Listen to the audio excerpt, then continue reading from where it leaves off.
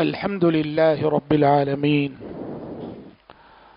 والصلاة والسلام على أشرف الأنبياء والمرسلين وعلى آله وأصحابه أجمعين وعلى من تبعهم بإحسان إلى يوم الدين أما بعد أعوذ بالله السميع العليم من الشيطان الرجيم من همزه ونفخه ونفسه وقل لعبادي يقول التي هي أحسن. إن الشيطان ينزغ بينهم. إن الشيطان كان للإنسان عدوا مبينا. آج کی ترابی میں پندروان جز پڑھا گیا جس میں ہم لوگوں نے سورة بنی اسرائیل مکمل سنی اور سورة کہف کا اکثر حصہ سنا ہے۔ درس کے لیے میں نے جس آیت کا انتخاب کیا ہے وہ سورہ بنی اسرائیل کی آیت ہے۔ اس آیت میں اللہ تعالیٰ نے نبی کریم صلی اللہ علیہ وسلم سے مخاطب ہو کر ایک ایسی بات کا حکم دیا ہے جس کی ضرورت ہمیں سے ہر شخص کو ہے۔ اور اگر اس تعلیم کا لحاظ نہ رکھا جائے تو ہمارے تعلقات سوسائٹی میں کسی کے ساتھ اچھے نہیں رہ سکتے۔ اگر اس ایک تعلیم کا لحاظ نہ رکھا گیا تو سوسائٹی میں کسی کے ساتھ اچھے نہیں رہ سکتے ہم۔ بہت اہم تعلیم ہے۔ چنانچہ اللہ تعالیٰ نے کہا، وَقُلِّ عِبَادِي يَقُولُ الَّتِي هِيَ أَحْسَنُ۔ اے پیغمبر، میرے بندوں سے کہیں کہ ہمیشہ اچھی بات کیا کریں، اچھی بات کہا کریں۔ ان شیطان ینزغ بینہم اس لیے کہ شیطان ان کے درمیان فساد ڈالنا چاہتا ہے۔ ان الشیطان کان للانسان عدوا مبینا اور شیطان تو انسان کا کھلا ہوا دشمن ہے ہی روز اول سے۔ دیکھو، اس آیت میں زبان کے صحیح استعمال کا حکم دیا جا رہا ہے کہ زبان کا ہمیشہ صحیح استعمال کرو زندگی میں۔ زبان کو آزاد مت چھوڑو۔ جیسے چلے ویسے چلے، قینچی کی مانند چلے، دلوں کو چیرتے ہوئے چلے، دلوں کو پھاڑتے ہوئے چلے۔ نہیں، زبان کو آزاد مت چھوڑو، زبان کا صحیح استعمال کرو۔ کیوں؟ ان شیطان ینزغ بینہم۔ شیطان جو تعلقات میں بگاڑ جو پیدا کرتا ہے، زبان سے ہی۔ رشتہ داری میں پھوٹ پھوٹ جو ڈالتا ہے، زبان سے ہی۔ محبت کو نفرت میں جو بدلتا ہے شیطان، زبان سے ہی۔ آپ جائزہ لے لو۔ کوسا خاندان، کوسا گھر اختلافات سے بچا ہے۔ آپ سوچ لو بیٹھے بیٹھے۔ جتنے جھگڑے، جتنے ٹنڈے جتنی پنچایتیں ہمارے خاندانوں، ہمارے گھروں کی سب کا آغاز زبان سے ہوا ہوگا۔ کسی نے کسی کے حق میں کچھ کہہ دیا ہوگا۔ کسی نے کسی کے حق میں کچھ بول دیا ہوگا۔ کسی نے کسی پہ کوئی تبصرہ کر دیا ہوگا۔ زبان کا صحیح استعمال یہ تعلقات کو مستحکم کرنے کا ذریعہ ہے اور زبان کا اگر بے احتیاطی سے استعمال ہو چرب زبانی، زبان درازی، گالی گلوچ، سختی بات چیت میں۔ ہمیشہ غصہ۔ ان شیطان یہاں شیطان کو کر کو راستے مل جاتے ہیں۔ اور شیطان ہماری محبت کی جگہ نفرت ڈالنے میں کامیاب ہو جاتا ہے اور ہمارے خاندانوں کی الفت کو لوٹنے میں کامیاب ہو جاتا ہے۔ اسی لیے اللہ تعالی دوسری آیت میں سورہ حذاب کی اللہ کہتا ہے تمہارے عمل اس وقت تک درست نہیں ہو سکتے جب تک کہ تمہاری زبانیں درست نہ ہو اللہ تعالیٰ نے کہا، یا ایوہ الذین آمنوا اتقوا اللہ وقولوا قولا سدیدا یصلح لکم اعمالکم ویغفر لکم ذنوبکم۔ اے ایمان والو، اللہ سے ڈرو اور قول سدید، سیدھی سیدھی بات کہا کرو۔ زبان سیدھی رہے گی، بات چیت صحیح رہے گی اور گفتگو سیدھی رہے گی، تو یوسلح لکم اعمالکم۔ اللہ تمہارے اعمال کو بھی درست کر دے گا۔ پتا چلا، اصلاح عمل کے لیے اصلاح لسان شرط ہے۔ ہمارے اعمال اس وقت تک صحیح نہیں ہو سکتے جب تک کہ ہماری زبان درست نہ ہو اور ہماری گفتگو صحیح نہ ہو۔ اسی لیے دیکھو، حدیثوں میں آتا ہے پیارے نبی صلی اللہ علیہ وسلم فرماتے ہیں، ہر صبح ابن آدم جب صبح کرتا ہے، ہر صبح جسم کے سارے آزاد یہ جو زبان ہے نا، اس زبان سے منت سماجت کرتے ہیں، سارے آزا کہتے ہیں زبان سے، انما نحن بک۔ اے زبان، دیکھ ہم سب تیرے تابع ہیں۔ ان استقمت استقمنا و ان اعوججت اعوججنا۔ اے زبان، اگر تو صحیح رہے گی، ہم سب صحیح رہیں گے۔ تو بگڑے گی، ہم سب کو بگڑنا پڑے گا۔ کون؟ جسم کے سارے آزاد زبان سے منت سماجت کرتے ہیں۔ اس لیے یاد رکھنا، تعلقات کو صحیح سمت لے جانے کے لیے، رشتوں کو نبھانے کے لیے دوستی کو نبھانے کے لیے زبان کا صحیح رہنا بہت ضروری ہے۔ اور آپ کو معلوم ہے، یہ آیت یہ آیت پیارے نبی کب پڑھتے تھے؟ خطبت الحاجہ میں پڑھتے تھے، جو عام طور پہ ہمارے معاشرے میں خطبہ نکاح۔ نکاح میں کیا ہوتا ہے؟ دو خاندان مل رہے ہوتے ہیں۔ ایک نئے خاندان کی بنیاد پڑ رہی ہوتی ہے۔ میاں بیوی کی زندگی کا آغاز ہو رہا ہوتا ہے۔ ایسے میں خطبہ نکاح میں یہ آیت پڑی جاتی ہے نصیحت کے لیے۔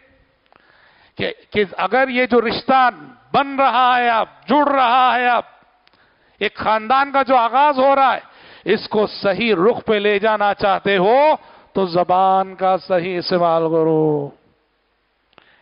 خطبہ نکاح میں آیت پڑی جاتی اتقوا اللہ وقولوا قولا سدیدا، یصلح لکم اعمالکم ویغفر لکم ذنوبکم۔ تو اس لیے محترم بھائیو، یہ کیا ہے؟ زبان کے سلسلے میں بہت اللہ نے اس میں ہڈی نہیں رکھی ہے، خوب چلتی ہے، خوب چلتی ہے۔ جسم کے سارے آزاد تھک جائیں گے، پر زبان نہیں تھکے گی۔ ہاتھ ذرا زیادہ کام کرے گا، تھک جائے گا۔ پیر زیادہ چلیں گے، تھک جائیں گے۔ دماغ زیادہ سوچے گا، تھک جائے گا۔ چوبیس گھنٹے بات کرتے رہو، زبان نہیں تھکے گی۔ سمجھ رہے ایسی چیز ہے یہ۔ اس کا شر بڑا عظیم ہے۔ اس کا شر بڑا عظیم ہے۔ اس لیے جیسے کہا جاتا ہے، پہلے تولو اور بعد میں بولو۔ پہلے تولنا چاہیے اور بعد میں بولنا چاہیے۔ تو کبھی آپ کو پچھتانا نہیں پڑے گا۔ ہمارا معاملہ کیا ہے؟ ہم پہلے بولتے ہیں اور بعد میں تولتے ہیں۔ جو پہلے بولتے ہیں اور بعد میں تولتے ہیں، انہیں پچھتانا ہی پڑے گا۔ ارے میں وہ وہ بات نہیں بولنا تھا۔ ارے وہ گالی میں دین نہیں دینا تھا، ارے وہ تبصرہ مجھے نہیں کرنا چاہیے تھا۔ سمجھ رہے بھائی؟